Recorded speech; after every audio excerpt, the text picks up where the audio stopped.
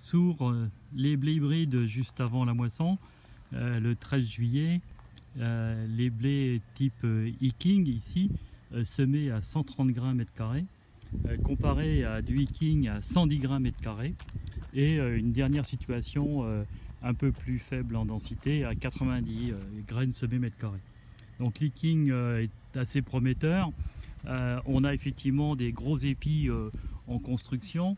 on considère que la baisse de densité peut être compensée par le, PMG et la fertilité. Aujourd'hui, on est encore dans l'expectative du meilleur résultat. Peut-être le compromis à 110 grains sera le meilleur au final. Mais c'est une piste d'optimisation.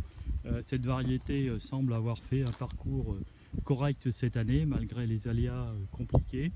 En tout cas, elle semble toujours être leader dans situations difficiles, en, blé de blé en particulier.